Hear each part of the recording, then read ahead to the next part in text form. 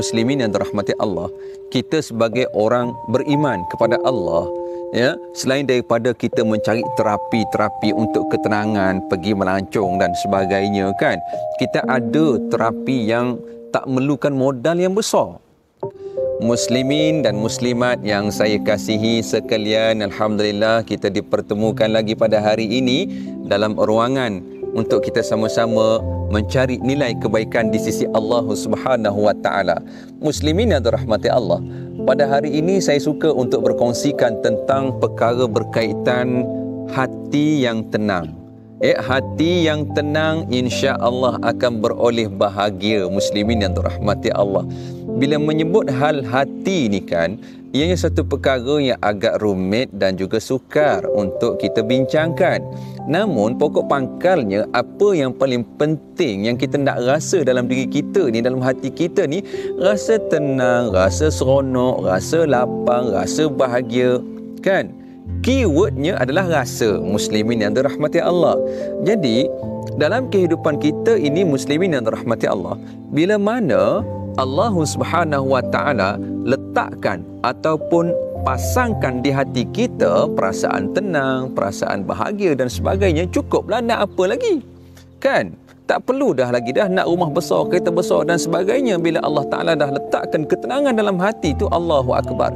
Itulah sebesar-besar keseronokan, sebesar-besar nikmat muslimin yang dirahmati Allah. Namun dalam Al-Quran Allah Subhanahu wa taala ada menyebutkan juga bagaimana alladzina amanu wa tatma'innu qulubuhum bi dzikrillah. Allah menyebutkan orang-orang yang beriman dan tenang tenteram hati mereka dengan zikrullah. Muslimin yang dirahmati Allah. Kita sebagai orang beriman kepada Allah, ya selain daripada kita mencari terapi-terapi untuk ketenangan pergi melancong dan sebagainya kan kita ada terapi yang tak memerlukan modal yang besar kan. Cukup kita duduk rumah kan duduk-duduk apa salahnya kita zikir kan. Dengan zikir kepada Allah Allah Subhanahu wa taala telah sebutkan tadi akan memberikan ketenangan kepada kita muslimin yang dirahmati Allah kan? Jadi perbanyakkanlah zikir kepada Allah Subhanahu wa taala kerana dengan zikir itu sendiri pun sebenarnya mempunyai banyak kelebihan selain daripada hati yang tenang. Kan? Jadi muslimin yang saya kasih sekalian kenapalah susah sangat dalam kehidupan kita hari ini kita nak zikir kepada Allah?